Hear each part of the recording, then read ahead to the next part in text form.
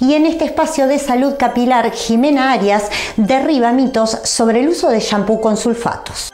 Los sulfatos son uno de los ingredientes más utilizados en la cosmética y es el que más podemos encontrar en los shampoos. Hoy vamos a derribar el mito que promueven en el medio y que no está demostrado por estudios que causen algún tipo de contraindicación en nuestro cabello. Los sulfatos son tensioactivos que nos ayudan a eliminar la tensión entre dos fases, por ejemplo, agua y aceite. Los sulfatos son parte del shampoo y nos ayudan a realizar una correcta higiene de nuestro cabello.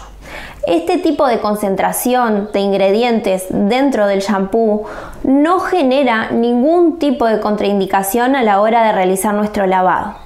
¿Qué quiere decir esto? Que no va a barrer nuestra coloración, nuestro brushing progresivo o nuestro botox, ya que el ingrediente tiene un componente mínimo y son varios sulfatos que lo componen para así mejorar nuestro producto.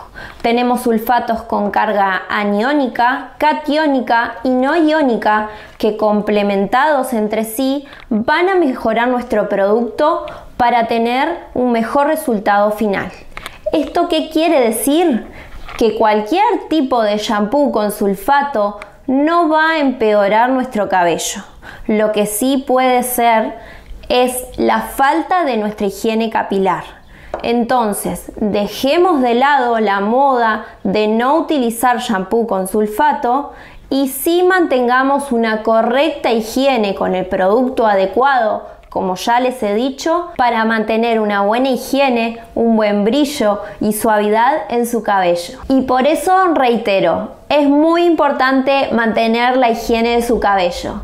Y como siempre, estoy a las órdenes para evacuar sus dudas y realizar sus diagnósticos.